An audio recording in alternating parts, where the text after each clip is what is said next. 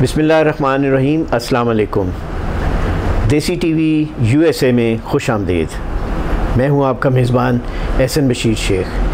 Gifted, talented entrepreneur के साथ आज एक और शख्सियत से आपकी मुलाकात करवाने जा रहा हूँ। नाजरीन, आज जो मेरे मेहमान शख्सियत हैं, वो नहायत कामयाब इंसान हैं।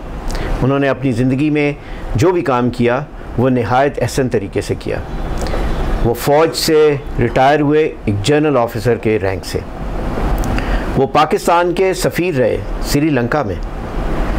वो अपनी कंपनीज़ चलाते हैं। पिक्स एक, जो है, उसको रन करते हैं, जिसकी तफसील वो ख़ुद बयान करेंगे। यहाँ पर ही सिर्फ़ ख़त्म नहीं हो जाती कहानी। इन तमाम चीज़ों के बाद उन्होंने ये सोचा क्योंकि दर्द पाकिस्तान उनके दिल में है और पाकिस्तान उनके खून में जैसे रच बस जाता है, वो है। तो उन्होंने इस चीज़ को आगे बढ़ाने के लिए अपनी एक आम आदमी मूवमेंट के नाम से एक कंपनी रजिस्टर कराई, जिसके तहत वो काम कर रहे हैं। हमें बड़ी खुशी है कि आज वो, उन्होंने अपनी नहायत मसरूफियत में से हमारे लिए थोड़ी देर का वक्त निकाला और हमें मदू किया कि हम उनसे कुछ बातें कर सकें और उनकी बातें जो उनके दिल में हैं और वो जो कहना चाहते हैं वो बाबा ख़ुद आपसे डायरेक्टली करें। Ladies and gentleman so let me welcome major general retired Saad Khattak sir welcome to the show thank you sir एक बुनियादी सवाल से शुरू करते हैं कि इतना लंबा सफ़र सर एक फ़ौज के अंदर एक मकाम हासिल करना जो बहुत कम लोगों को मिलता है, वो उस इज़्ज़त को कमाना, बाहर पाकिस्तान की नुमाइंदगी भी करना, सफ़ीर के तौर पे थिंक टैंक के अंदर भी एक काम करना, और फिर अब आम आदमी मूवमेंट जो है, उसको चलाना, ये सब के सब काम आप कैसे कर लेते हैं सर बिसमीम एहसन साहब, बहुत शुक्रिया आपने मुझे वक्त दिया अपने नाजरीन तक मेरी आवाज़ को पहुँचाने के लिए। लंबी कहानी, जैसे आपने कहा मैं जब भी किसी भी टीवी चैनल के ऊपर या किसी यूट्यूब चैनल के ऊपर इंटरव्यू देता हूँ तो लोग मुझसे चूँकि एक सियासी तनाजुर में भी बात करते हैं तो मुझसे पूछते हैं कि एक जनरल जो है, वो आम आदमी कैसे हो सकता है? आपने आम आदमी पार्टी मूवमेंट बना दी है। तो मेरा जवाब उनको ये होता है कि सैंतीस साल की जदोजहद है यहाँ तक पहुँचने के लिए।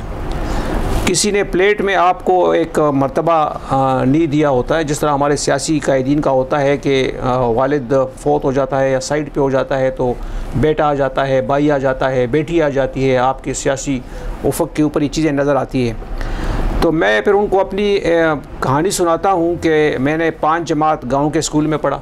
हम्म। मैंने फिर वहाँ से जब पाँच जमात पास किए तो फिर मैं पब्बी तहसील है अभी, उस वक्त एक टाउन हुआ करता था। वहाँ पर मैं जो हमारे गाँव से छः सात किलोमीटर दूर था, हम तांगे पे बैठ के वहाँ हाई स्कूल में जाते थे, जो गवर्नमेंट का हाई स्कूल था, उसमें हम पढ़ते थे। वहाँ से मैट्रिक पास किया और वहाँ से फिर जब मैट्रिक पास किया तो पेशावर में एडवर्ड्स कॉलेज में दाखिला मिला। पेशावर हमारे गाँव से तकरीबन कोई 20 किलोमीटर के फासले पर था। तो हम जीटी रोड तक जाते थे, साइकिल के ऊपर छः किलोमीटर सुबह सुबह और फिर साइकिल को वहाँ पेट्रोल पंप पे खड़ा करके बस पे बैठते थे, फिर बस पे बैठ के चौदह किलोमीटर पेशावर तक का सफ़र करते थे। अड्डे तक, फिर अड्डे से बस से उतर के फिर हम वो जो लोकल मिनी में बैठते थे, फिर कॉलेज के स्टॉप तक जाते थे तो ये मिला जुला के तकरीबन हमारा पचास किलोमीटर का आने जाने का सफ़र बनता था कॉलेज को अटेंड करने के लिए रोज़ाना। वहाँ से एफ़ एफ़ एस सी पास किया। जब एफ़ एस सी पास किया तो वहाँ फिर जो है ना फिर फ़ौज में चले गए। एफ़ एस सी के बाद 1979 में। और फिर फ़ौज की दास्तान है। तो 2016 तक फ़ौज के नशेब व फराज और मतलब second lieutenant P M A दो साल ट्रेनिंग फिर सेकंड लेफ्टिनेंट फिर आपको पता है कि सारे कैसे बंदे मराहल तय करता है। तो जनरल के अहदे तक पहुँचने के पीछे तकरीबन कोई तीस पैंतीस साल की जदोजहद है। और उस जदोजहद के बाद यहाँ पर पहुँचे हैं तो पहली बात तो ये है कि फ़ौज में अल्हम्दुलिल्लाह आपके सामने है कि एक तवील जदोजहद के बाद एक मकाम पर पहुँचे हैं।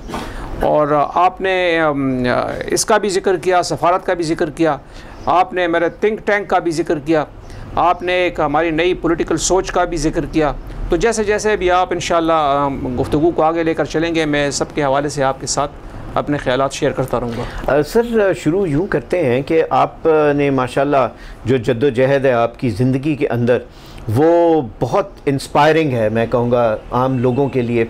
तो क्या यही सोच थी कि आप अब जब ये तमाम चीज़ें करने के बाद जो पॉलिटिकल पार्टी जिसके ऊपर, क्योंकि इसलिए मैं पूछना चाह रहा हूँ, शुरू में ये कि पाकिस्तान के अंदर अब इस वक्त एक बहुत बड़ा पॉलिटिकल टर्मोइल सा आया हुआ है। और वो पॉलिटिकल सिचुएशन बड़ी ही इस वक्त नाजुक मराहल में है। और हर वक्त ही पाकिस्तान के लिए कहा तो ये जाता है कि अब एक बड़े टर्निंग पॉइंट के ऊपर है। आप नौ एज अ चेयरमैन एक आम आदमी मूवमेंट के जो सोच लेके आप आए, जो इस सोच ने आपको अब क्या करने जा रहे हैं आप और आपका अपना क्या प्लान है? मेरे सियासी सोच के पीछे एहसन साहब एक बैकग्राउंड है। और वो बैकग्राउंड ये है कि जब मैं 2016 नवंबर में रिटायर हुआ तो लाजमी बात है कि सैंतीस साल अपने इलाके से दूर अपनी जड़ों से दूर अपने लोगों से दूर। तो अपने लोगों में वापस जाने के लिए मुझे एक एक बहाना चाहिए था एक रीज़न चाहिए था कि मैं सैंतीस साल की ब्रेक के बाद हम्म। अपनी जड़ों के साथ दोबारा रिकनेक्ट कर लूँ। वो रिकनेक्ट करने के लिए मैंने एक खुशार खटक ट्रस्ट बनाया। अच्छा। एक फलाही इदारा बनाया और उस फलाही इदारे के नीचे मैंने अपने इलाके में सेहत के हवाले से, तालीम के हवाले से लॉ एंड ऑर्डर के हवाले से, नशों के हवाले से और कॉन्फ्लिक्ट रेजोल्यूशन के हवाले से मैंने वहाँ पर अपनी बसात के मुताबिक अपने लोगों के लिए काम करना शुरू कर दिया ज़िला नौशहरा के अपने इलाके में। जब वो काम करना शुरू कर दिया तो चूँकि हमारे पॉलिटिकल सियासी जो करते धरते होते हैं और जो आपके ज़िले के पूरा इंतज़ामिया होता है चाहे वो पुलिस का हो चाहे वो डीसी का हो चाहे वो पटवार का हो चाहे वो तालीम का हो सेहत का हो वो सारे पॉलिटिकल अपॉइंटीज़ होते हैं और वो जो है ना उस ज़िले के जो पॉलिटिकल करते धरते होते हैं उनके ताबे होते हैं हम्म। तो चूँकि हमने एक सोशल वर्क करना था तो हमें तो कुछ सियासत से ताल्लुक वास्ता नहीं था और ना रखना चाह रहे थे लेकिन हम खिदमत तो ज़रूर करना चाह रहे थे आम लोगों की उस खिदमत के दौरान हमें ये एहसास हुआ मुझे ये एहसास हुआ कि आप इस मुल्क में सोशल वर्क भी नहीं कर सकते अगर आपके पास पॉलिटिकल पावर या एडमिनिस्ट्रेशन एडमिनिस्ट्रेटिव पावर ना हो हम्म। ठीक है ना आप वो लोग आपको चलने नहीं देते हम्म। इसलिए कि आपके अंदर ये जो आपके पॉलिटिकल सियासी करते दरते होते हैं, वो आपके अंदर जो भी सोशल वर्कर होता है एक इलाके में, और ख़ास तौर पे अगर उसके साथ कोई नाम लगा हुआ है, जो मेरे साथ एक नाम लगा हुआ था अपने अस्करी उसकी वजह से तो वो एक एक इनविजिबल खौफ में मुबतला हो जाते हैं कि यार ये तो कल जो है अगर ये आज सोशल वर्कर है तो कल हमारे लिए एक पॉलिटिकल थ्रेट के तौर पे सामने आ सकता है। तो फिर वो आपके लिए मसाइल खड़े करते हैं बाकायदा तौर पर। हम्म। तो हमने ये सोचा कि जब मुझे ये एहसास हुआ कि नहीं ये सोशल वर्क भी नहीं हो सकता जब तक आपके पास पॉलिटिकल पावर ना हो आपके पास एडमिनिस्ट्रेटिव पावर ना हो तो एडमिनिस्ट्रेटिव पावर तो मैं नहीं ले सकता था क्योंकि वो तो इंतज़ामिया का काम होता है। तो मैंने कहा यार सियासी लोगों में अवेयरनेस शूर वो पैदा करने के लिए एक पोलिटिकल मूवमेंट चलानी चाहिए और फिर हमने जाकर ये सोचा कि हमें एक ऐसा सियासी प्लेटफॉर्म बनाना चाहिए जिसमें हम आम आदमी को उसका महवर बनाएँ, आम आदमी को उसका फोकस बनाएँ। आम आदमी में जो काबिल है, जो अहल है, जो महब वतन लोग हैं और जो इस मुल्क के लिए कुछ करना चाहते हैं, इस मुल्क के असल वारिसिन हैं, उनको ऊपर लाया जाए। उनको ऊपर लाने के लिए एक प्लेटफॉर्म चाहिए था और ये प्लेटफॉर्म उनके लिए बनाया हुआ है। वरना मुझे आप ये बताएँ जब आदमी एक सियासी प्लेटफॉर्म बनाता है, ज़िंदगी के और उम्र के इस स्टेज के ऊपर जब आदमी एक प्लेटफॉर्म बनाता है पॉलिटिकल तो मुझे तो इसमें अपनी ज़ात के हवाले से कोई रोशनी बहुत कम नज़र आती है, इसलिए कि हमारा और कितनी ज़िंदगी होगी। तो हमने अपने फ्यूचर के जनरेशन्स को हमारी मुस्तबिल के नस्लों को, पाकिस्तान के मुस्तबिल के कस्टोडियंस को मद्देनज़र रखते हुए हमने कहा, एक ऐसा प्लेटफॉर्म बनाते हैं और उसका नज़रिया और नैरेटिव ऐसे रखते हैं, उसके पैरामीटर्स ऐसे रखते हैं कि पाकिस्तान का हर एक आदमी जो काबिल होगा, जो अहल होगा, जो महब वतन होगा, वो किसी भी लसानियत से ताल्लुक़ रखने वाला होगा, पाकिस्तान के किसी कोने से भी ताल्लुक़ रखने वाला होगा मोरूसीत से हट के हम उसको ऊपर प्रोजेक्ट करने के लिए एक मौका फराम कर दें, एक प्लेटफॉर्म फराम कर दें। इस नैरेटिव को मद्देनज़र रखते हुए, इस सोच को मद्देनज़र रखते हुए हमने पाकिस्तान आम आदमी मूवमेंट का प्लेटफॉर्म एक पॉलिटिकल पार्टी के तौर पर इलेक्शन कमीशन में रजिस्टर करा दिया। अच्छा सर ये जो पाकिस्तानी माशरे की, के अंदर इस तरह की सोच, जैसी आपकी माशाल्लाह सोच है, इस तरह की सोच रखने वाले लोग बहुत कम होंगे। जनरली ये देखने में आया है कि लोग माफिया के हाथों जो है वो मजबूर हो जाते हैं और पाकिस्तानी माशरा जो है वो दुरुस्त होने की सिमत जो है, वो वो तयन करने के बावजूद भी उस पर अमल दरामद नहीं होता। आपके ख्याल में ये क्या देखें इमरान खान की मिसाल हमारे लिए बड़ी लेटेस्ट मिसाल है। हम बहुत कुछ सीख सकते हैं अगर हम सीखना चाहते हैं कि उनके साथ वो किस सोच को लेकर आए। उस सोच के साथ हम सबने उसका साथ दिया। और लेकिन हुआ ये कि इकतदार तक पहुँचने के लिए इकतदार तक पहुँचने की जल्दी में उसने ऐसे कंप्रोमाइज़ किए अपने नज़रियाती लोगों को साइड पे करके ऐसे लोगों को आगे लेकर आए डिसीज़न मेकिंग पोजीशन पे जिनका न उनके नज़रिए से कोई ताल्लुक था जिनका न पाकिस्तान के इंटरेस्ट के साथ कोई ताल्लुक था उनका अपनी एक बिज़नेस के साथ उनका ताल्लुक था अपनी पॉलिटिकल पावर के साथ उनका एक ताल्लुक था। तो इमरान खान पिछले साढ़े तीन साल में उनके हाथों यार गमाल रहा वो वो डिलीवर नहीं कर पाया जो लोग उसे एक्सपेक्ट कर रहे थे जो हम उसे एक्सपेक्ट कर रहे थे। तो बिल्कुल दुरुस्त। तो हम लोग जो है, ये, मैं, ये हमारे लिए एक लाइव मिसाल है। तो हमने इसलिए सोचा कि पाकिस्तान आम आदमी मूवमेंट में इन मैं लोगों को ये बताता रहता हूँ। मेरे बड़े अच्छे अच्छे दोस्त जो है, जो जब जब उनसे बातचीत होती है, जब मैं उनको दावत देता हूँ, और बड़े हाई फाई लोग, पैसे वाले लोग तो मैं उनको ये ज़रूर बताता हूँ। मैंने कहा देखे बात सुने। आज जो बंदा मेरे साथ ज्वाइन करके खड़ा हो गया है, चाहे वो रेडी वाला हो, चाहे वो मुतवसत तबके का रहने वाला वो उसे बिलोंग करने वाला हो और कल एक बहुत बड़ा सरमायादार कल उसकी जगह उसके बाद आ गया है तो वो लाइन में उसके पीछे ही खड़ा होगा उसे आगे नहीं खड़ा होगा हम्म। जब तक आप उस आदमी को इज़्ज़त नहीं देते हैं जो मुश्किल वक्त में आपके साथ खड़ा होता है, जब आपके साथ दो बंदे बैठने वाले, खड़े होने वाले थे और एक बंदा अपना सब कुछ जला के आपके साथ खड़ा हो जाता है, जब तक आप उसकी, इस कुर्बानी की कदर नहीं करेंगे, आप आगे नहीं जा सकते। जब तक आप ऐसे लोगों को सही जगहों पर नहीं रखते, आप आगे नहीं जा सकते। इसलिए मैं लोगों को बताता हूँ, चाहे वो सरमाए वाले हो, चाहे वो किसी भी उसके बैकग्राउंड से बिलोंग करते हो मैं उनको ये कहता हूँ कि जी, आज जिसने फैसला किया हमारे साथ आने का, कल का आने वाला बंदा regardless of his position regardless of his social status वो उसके पीछे ही खड़ा होगा, वो से आगे नहीं खड़ा हो सकता। तो हमने ये सोच लेके लोगों को मोटिवेट करना है। मैं नौजवानों से जब बात करता हूँ, मैं उनको यही बताता हूँ कि ये प्लेटफॉर्म आप लोगों के लिए है, ये आपके नस्लों के लिए है। ये हमने अगर अपने लिए सोचना होता तो मैं किसी पॉलिटिकल पार्टी में ऐलान करता अगले इलेक्शन में टिकट लेता पार्टिसिपेट करता एमएनए बन के बैठता सेनेटर बन के बैठता एमपीए बन के बैठता, अगर कामयाब हो जाता तो मुझे आप ये बताएँ कि मैं किसी के साथ खड़ा होकर इन लोगों के साथ जो आपके सामने हैं, इनके साथ खड़ा होकर मैं पाकिस्तान के लिए और पाकिस्तान के कौम के लिए क्या कर सकता था? कुछ भी नहीं। हाँ मेरी ज़ात को बड़ा फ़ायदा हो सकता था। हमने ज़ात का फ़ायदा साइड पर रखा और हमने कहा कि नहीं हम एक लंबा रास्ता इख्तियार करेंगे, लेकिन हम आइंदा नस्लों को सामने रख के वो रास्ता इख्तियार करेंगे और हमने उसी के ऊपर अभी हम चले। इन अल्लाह पाक हमें साबित कदम करे उसके ऊपर और इन ये पार्टी आम लोगों की एक इंशाल्लाह ट्रू पार्टी जो है ना, इंशाल्लाह ये साबित होगी वक्त के साथ। सर, मैं इसके ऊपर और आपसे बातचीत करूँगा और चंद सवाल जहन में उठते हैं और वो करने आपसे ज़रूरी होंगे।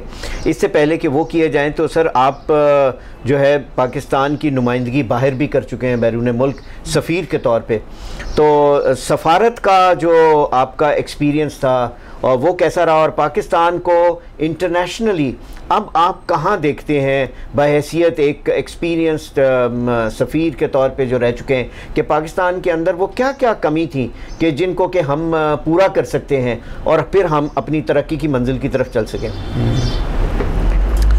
देखिए जी अल्हम्दुलिल्लाह आर्मी से रिटायरमेंट के बाद श्रीलंका में पाकिस्तान की सफारत का मौका मिला और आ, सबसे बड़े चैलेंज से बढ़कर जो चैलेंज था, जो कुदरती था, वो कोरोना का जो वबा थी, वो उसका चैलेंज था। और मेरा तकरीबन सारा पीरियड जो दो साल का था, वो तकरीबन कोरोना के पीरियड में ही गुजर गया लेकिन अल्हम्दुलिल्लाह अल्हम्दुलिल्लाह, हमने, अल्लाह ने एक फ़ैसला करवाया पहले दिन ही जो है श्रीलंका में जाके। जनवरी में मैं गया, जनवरी 2020 में, और मार्च में लॉकडाउन हो गया। और उसके बाद जो है तकरीबन मेरे आने तक मैं जब आ रहा था वापस मुल्क में तो लॉकडाउन की हालत में से निकल के मैं घर से एयरपोर्ट गया था। लेकिन इस पूरी पूरे दो साल के दौरान मैं रुका नहीं हूँ। मैं अपने घर में या दफ्तर में रुका नहीं हूँ। मैं पूरे श्रीलंका में हर किस्म के पब्लिक डिप्लोमेसी के जो भी मेरे जो प्लान्स थे वो मैंने आगे चलाएँ। बेहतरीन तरीके से चलाने की कोशिश की लोगों तक पहुँचने की कोशिश की। पीपल टू पीपल कांटेक्ट में मैंने पूरा तरीके से अपनी पब्लिक डिप्लोमेसी को इस्तेमाल किया।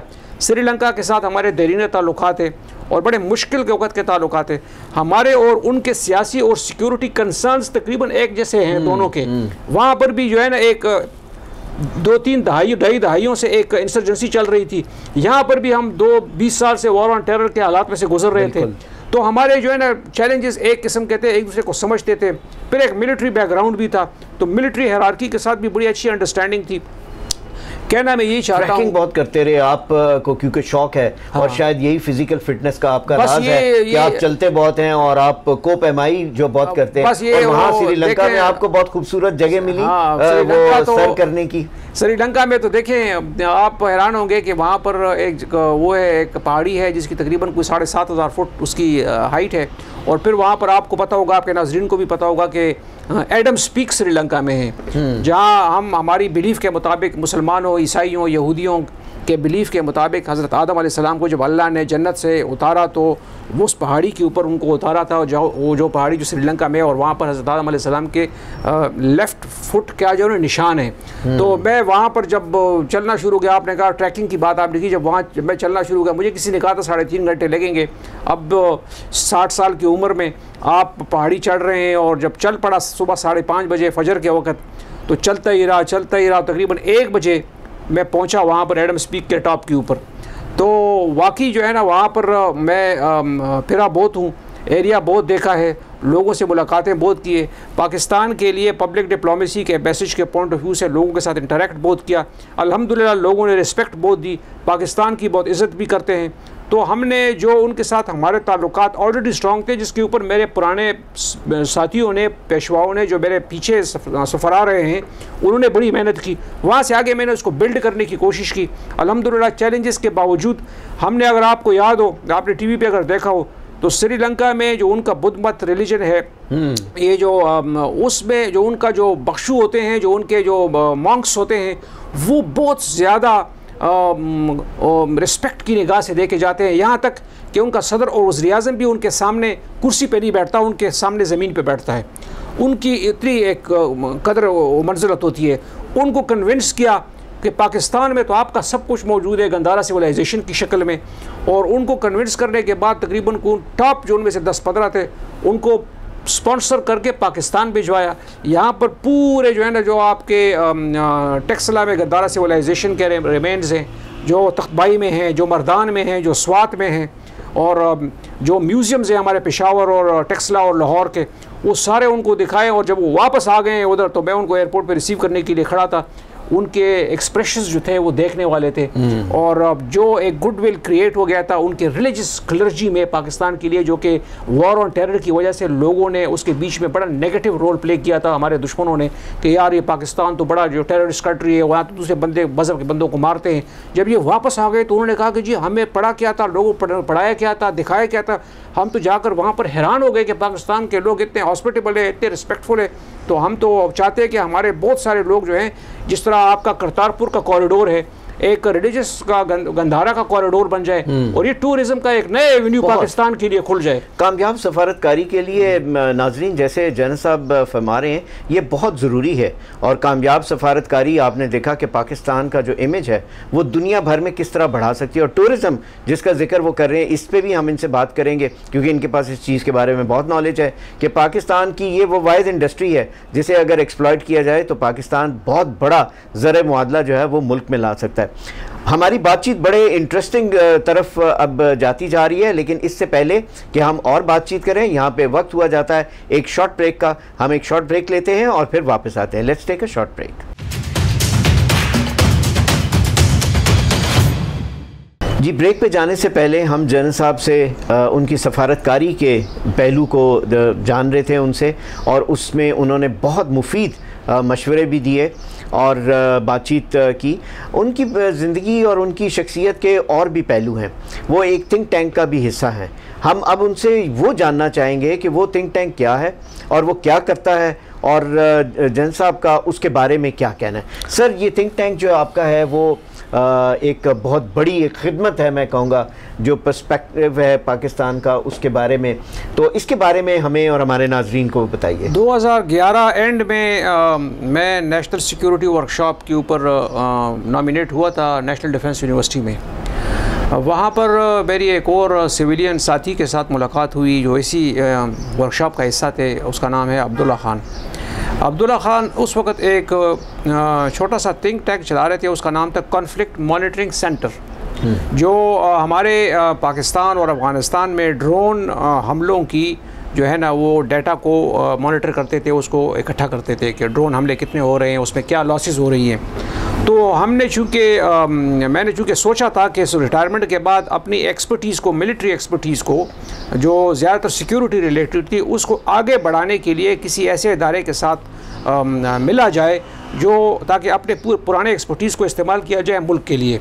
तो हमने आपस में शुरू में इनिशियल बातचीत की और उस बातचीत में हमने जो है ना ये सोचा कि हम इसी थिंक टैंक को ये कॉन्फ्लिक्ट मॉनिटरिंग सेंटर को थोड़ा इसका स्कोप बड़ा करके इसको हम आ, आ, पाकिस्तान के लेवल के ऊपर इसको जो है ना हम एक थिंक टैंक के ऊपर हम इसको रजिस्टर करेंगे। तो हमने उसको आ, नाम दे दिया Pakistan institute for conflict and security studies और इसको एक ट्रस्ट के तौर पर रजिस्टर किया।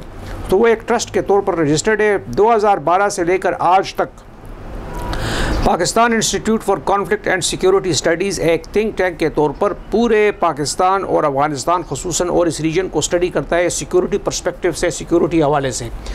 उसमें हम करते क्या हैं? हम पूरे इसके ऊपर नज़र रखते हैं कि कितने एंटी स्टेट हमले पाकिस्तान के अंदर होते हैं टेररिस्ट हमले पाकिस्तान के अंदर होते हैं। उसके उसमें नतीजे में क्या लॉसेस होती हैं मटेरियल लॉसेस क्या होती हैं ह्यूमन लॉसेस क्या होती हैं सिक्योरिटी फोर्सेस की तरफ़ लॉसेस क्या होती हैं टेररिस्ट की तरफ़ लॉसेस क्या होते हैं तो हम उसका एक रिकॉर्ड रखते हैं एक डेटा मेंटेन करते हैं हम्म। उस डेटा की बुनियाद के ऊपर हम पाकिस्तान के हवाले से और पाकिस्तान के किसी भी स्पेसिफिक डिस्ट्रिक्ट के हवाले से हम जो है ना एक एक सिक्योरिटी डेटा इकट्ठा करते हैं और उसके ऊपर हम एनालिसिस करते हैं और फिर हम उस रीजन स्पेसिफिक एरिया के बारे में भी और पूरे मुल्क के बारे में भी हम अपनी एक एनालिसिस करते हैं कि पाकिस्तान में सिक्योरिटी के हालात किस तरफ़ जा रहे हैं हम्म। तो हमने ये डेटा के ऊपर काम करना शुरू कर दिया और आपको और आपके नाजरन की इतला के लिए मैं ये बताता चलूँ कि हमने नाइन एलेवन से लेकर आज तक आज तक आज की तारीख तक पाकिस्तान में जितने भी एंटी स्टेट एक्टिविटीज़ हुई हैं एक एक इवेंट हमारे कंप्यूटर में रिकॉर्डेड है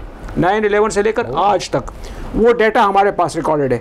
वो उस डाटा की बुनियाद के ऊपर हम किसी भी पाकिस्तान के ज़िले में और ये ज़िला वाइज रिकॉर्डेड है।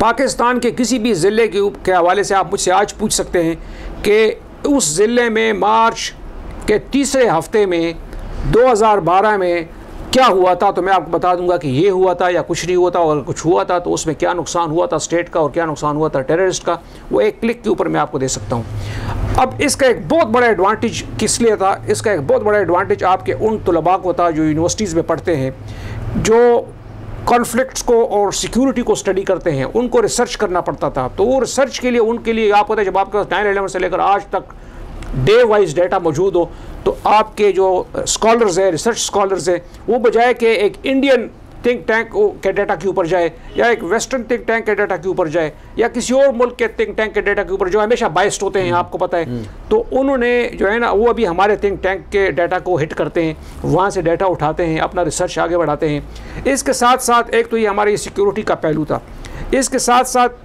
पिक्स के एक हिस्सा रहते हुए, हमने चूँकि हालात ऐसे बन रहे थे सिक्योरिटी के हालात बन रहे थे, नज़रियाती हालात ऐसे बन रहे थे, हमारे नज़रिए को लोग ख़राब करके पेश करना चाह रहे थे दुनिया में, वेस्ट में, कि ये इस्लाम एक मतशद जो है ना मज़हब है पाकिस्तान एक मतशद किस्म की कंट्री है। ये लोग इमोशनल लोग हैं।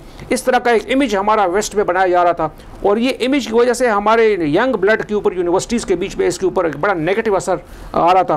तो हमने फिर कुछ हुकूमती इदारों के साथ मिलकर पाकिस्तान के सारे यूनिवर्सिटीज़ के दौरे करने शुरू कर दिए।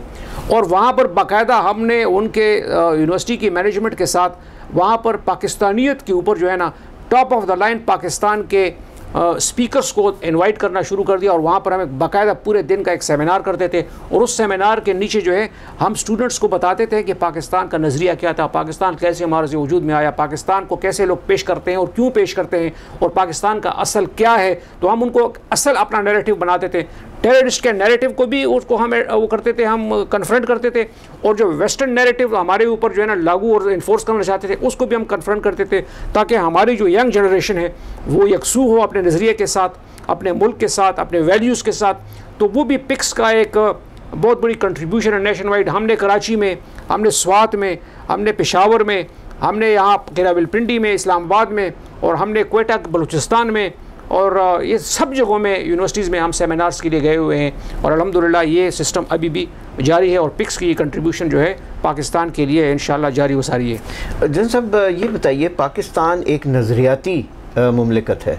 अब जो नज़रियाती ममलिकत होती है, उसकी तारीख जो है वो कठन होती है।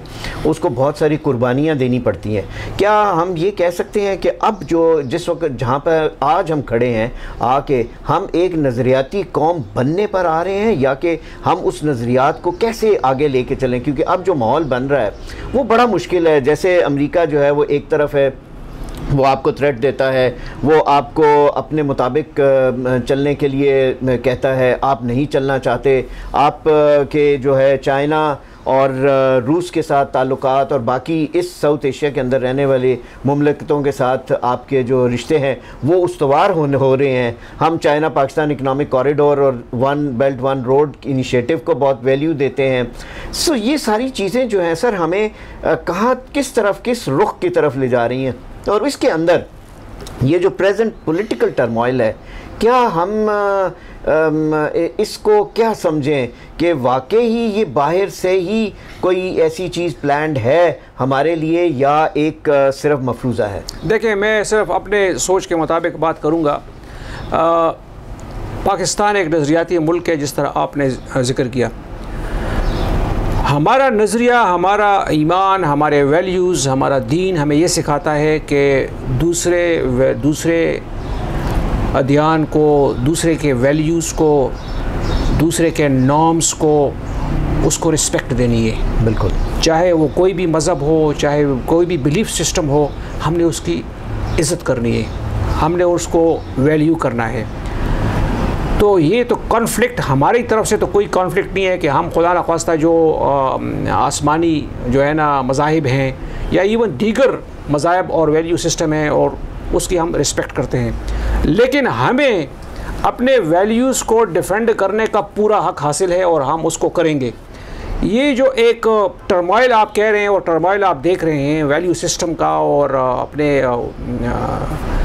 कल्चर्स का और वैल्यूज़ का to protect one's own culture and values ये मेरे ख्याल में हर किसी का हक है और जितना ये वेस्ट का हक है उतना वो हमारा भी हक है। तो हम तो इसके ऊपर कतन कोई कॉम्प्रोमाइज़ नहीं करेंगे। हम अपनी आइंदा नस्लों हमारे जदोजहद का एक बेसिक एक बेसिक पॉइंट और महवर ये भी है कि हम अपने आने वाली नस्लों को अपने वैल्यूज़ के साथ अपने नज़रिए के साथ उसको जोड़े रखें हम्म। उसको कनेक्ट रखें। इससे कत नज़र कि बाहर के जो फोर्सेस हैं वो हमारी आने वाली नस्लों के साथ कैसे डील करती है उसको किस तरफ़ माइल करती है वो आपको पता है सारा कि क्या हो रहा है हमारे ऊपर हमारे ऊपर किस तरह प्रेशर एक आइडियोलॉजिकल बैराज जो है हम्म। वो हमारे ऊपर लाहौर हमारे अगेंस्ट लॉन्च किया गया है। वो उनकी अपनी सोच और नज़रियात है लेकिन हमने अपने नज़रियात का तो बार कैफ दिफा भी करना है हमने अपने नज़रियात को अपने आइंदा नस्लों तक पहुँचाना भी है उनको उजागर भी करना है ये तो हमारे जदोजहद का एक हिस्सा है। जिस तरह आप कह रहे हैं कि जी ये इस वक्त जो टर्माइल चल रहा है मेरे ख्याल में आ, आ, हर वो जो टर्माइल जो कि मुस्लिम दुनिया में चल रहा है वो दो नैरेटिव्स के ऊपर चल रहा है। एक नैरेटिव नज़रिया है कि आपके जो बेसिक नज़रियात है उसको उन्होंने पनपने नहीं देना है उसको उन्होंने ऊपर नहीं आने देना है। इसलिए कि वो एक ऐसा नज़रिया है कि जो कि फैक्ट्स के ऊपर हकीकत के ऊपर इंसानियत के ऊपर मबनी नज़रिया है। वो उसकी नाकामी का सवाल ही पैदा नहीं होता अगर ट्रू स्पिरिट में उसकी एप्लीकेशन होती है। तो इस चीज़ से खौफ खाने के लिए वो ऐसी किसी भी सोच को जो मुखालिफ कुतें हैं वो ऐसी किसी भी सोच को उजागर होने से पहले मारने की कोशिश करते हैं कि वो सोच बढ़े ना। आपने तुर्की में भी देखा है आपने मलेशिया में भी देखा है आपने अफ़गानिस्तान में भी देखा है आपने मिडल ईस्ट के ममालिक में भी देखा है। बेसिकली वो चाहते ये कि ऐसी कोई सोच पनपने ही ना पाए जो मुसलमानों को किसी तरीके से इकट्ठा यू नो कर सके। तो इसलिए जो है ये मेरे ख्याल में पहली जंग तो ये है। दूसरी जंग जो है ना वसाइल की अल्लाह ने पाकिस्तान के और पाकिस्तान के सारे बल्कि सारे मुसलमान ममालिक को जिस तरह आहिस्ता आहिस्ता चीज़ें पता चलती जा रही है। कुदरती वसाइल से माला माल किया हुआ है। जी बिल्कुल। जब वो कुदरती वसाइल के ऊपर नज़रें बड़ी ताकतों की है तो उन वसाइल को डोमिनेट करने के लिए चाहे वो सेंट्रल एशिया की है, चाहे वो मिडल ईस्ट की है, चाहे वो आपकी साउथ एशिया की है, चाहे वो आपकी अफ्रीकन कंट्रीज़ की है, उसके को डोमिनेट करने के लिए बड़ी ताकतों के आपस में एक चपकलिश का एक सिलसिला शुरू है, जिसमें हम लोग जो है ना वो एक टारगेट बन जाते हैं। तो मेरे ख्याल में हमारी जो जदोजहद का सबसे अहम चीज़ ये है कि हम अपनी आइंदा नस्लों को इन इश्यूज़ के हवाले से अवेयर रखें, उनको आगे लेकर आएँ उनको रिस्पॉन्सिबिलिटीज़ वाली जगह पर पहुँचाने की कोशिश करें। हमारे सियासी जदोजहद का भी एक बेसिक नुकता यही है कि हम पाकिस्तान के आम आवाम में से जो इस मुल्क के सब कुछ है, जिनके आबा अबावजदाद ने इस मुल्क के लिए सब कुछ किया है, हमारे अबावजदाद ने इस मुल्क के लिए, जो आज पाकिस्तान के ऊपर मुसलत है, आज जो पाकिस्तान के ऊपर सियासी अशराफिया मुसलत है, आपको मैं बता रहा हूँ कि आप ज़रा उनके फैमिलीज़ के बैकग्राउंड में चले जाएँ। आपको पता चल जाएगा कि उनके फैमिलीज़ के, बड़ों का, पाकिस्तान के बनाने में, पाकिस्तान के लिए कुर्बानी देने में क्या किरदार रहा है? पाकिस्तान को बनाने में और कुर्बानी देने में तो हमारे और आपके आबा वजदाद पाकिस्तान के आम आवाम के आबा वजदाद के जो है ना, बड़ों का हिस्सा था। तो इसलिए जो है इन हम पूरी कोशिश करेंगे कि अपना इस जदोजहद को लोगों को शूर दिलाने के लिए पाकिस्तान के हवाले से उनको इकट्ठा करने के लिए ये प्लेटफॉर्म भी बना दिया है और इन जो है ना इसको हम आगे लेकर चलेंगे इन सर मुझे जो है last but not the least sir के ये पूछना है कि पाकिस्तान को अगर हम देखना चाहें तरक्की याफ्ता ममालिक की फहरिस्त के अंदर तो हमें क्या करने की ज़रूरत है अब इस वक्त? देखें सबसे इंपॉर्टेंट चीज़ तो मेरी नज़रों में ये है कि अपने लोगों में शूर बेदार करना है। अपने नज़रिए के हवाले से, पाकिस्तानियत के हवाले से। ये जो हमारा तालीमी निज़ाम है, इसको हमने हर सूरत में अपने नज़रिए के साथ टेलर करना है। मैं यहाँ पर काद अज़म के अनफिनिश्ड एजेंडा की बात करूँगा आपके नाजरीन के लिए। काद अज़म ने एक कमेटी बनाई थी और उस कमेटी को टास्क किया हुआ था कि आपने दो तीन चीज़ों के ऊपर करके मुझे रिकमेंडेशंस देनी है। और वो रह गया क्योंकि काद अज़म दुनिया से चले गए। और काद अज़म का अनफिनिश्ड एजेंडा क्या था? काद अज़म का अनफिनिश्ड एजेंडा ये था कि पाकिस्तान के फ्यूचर के पाकिस्तान के कवानीन को कुरान और सुनत के मुताबिक डालना है। काद अज़म के अनफिनिश्ड एजेंडे का दूसरा नुक्ता ये था कि अपने पूरे तालीमी निज़ाम को के बीच में जो है, हम अपने वैल्यू सिस्टम को अपने जो है ना, दीन के निज़ाम को हमने तालीमी सिस्टम में डवटेट करना है। This was number two point तीसरा पॉइंट ये था कि हमने जो अल्लाह से कैपिटलिस्ट वर्ल्ड का हिस्सा रहते हुए हमने अल्लाह के साथ जो एक जंग का ऐलान किया हुआ है सूद की शक्ल में, इससे अपने माशरे को और अपने निज़ाम को पाक करना है। तो ये अगर उस वक़्त उनको ये टाइम मिलता जिस तरह इंडिया के नेहरू को टाइम मिला तो आप देखें कि अगर ये चीज़ें सारी हो जाती तो पाकिस्तान आज कहाँ खड़ा होता। हम्म, नज़रियाती तौर पर भी मुआशी तौर पर भी और माशरती तौर पर भी। तो कहने का मतलब ये है कि हमें तालीम के हवाले से तरबियत के हवाले से देखें आज मेरे और आपके गाँव में बहुत पीएचडीज हैं लेकिन तरबियत नहीं है। जो तरबियत का बायार तीस साल पहले था वो आज नहीं है। नहीं। बड़े छोटे का जो था वो आज नहीं है। इसलिए जो है तालीम और तरबियत इकनॉमिक डेवलपमेंट इकनॉमिक एम्पावरमेंट और अपने नज़रियात के साथ जुड़ा रहना जो है, ये हमारी ज़िम्मेदारी है कि हम अपनी आइंदा नस्लों को इन चीज़ों के साथ जोड़ के रखें। इन पाकिस्तान ज़रूर एक दिन तरक्की करेगा। नाजरीन, चूँकि हमारे प्रोग्राम का वक्त बहुत महदूद होता है, वरना जनरल साहब के साथ बैठ के नशस्त का जो लुत्फ़ आ जाया है, वो आप भी सुन के यकीन लुफानंदोज़ हुए होंगे और आपकी ख्वाहिश होगी कि उनसे हम और भी बातें कर सकते और और भी पहलुओं के ऊपर हम उनसे हमारी दुआ है कि वो जो सोच रखते हैं या जिस तरफ़ वो चल पड़े हैं, अल्लाह उनको इसमें कामयाब करे। और ये सोच जो है, हर इंसान की सोच बने। कहने का मकसद ये है, हर पाकिस्तानी की सोच अगर इनकी सोच के मुताबिक हो जाए तो पाकिस्तान जन्नत बेनज़ीर होगा, यकीनन। सर, इसी के साथ ही मैं आपका बहुत शुक्रगुजार हूँ कि आपने हमें इतनी मुफीद बातचीत की, इतने अच्छे तरीके से अपना पूरा जो सोच है, उसको आपने हमें बयान किया कि आप किस सोच के तहत आप आगे काम कर रहे हैं। हमारी दुआ है एक दफ़ा फिर कि अल्लाह ताला आपको इसमें कामयाब करें। इन हम फिर भी जन साहब से कभी फिर वक्त लेंगे और फिर चंद और मौजूद पर भी बातचीत करेंगे। आज के लिए इतना ही। मुझे इजाज़त दीजिए। अल्लाह निगेबान।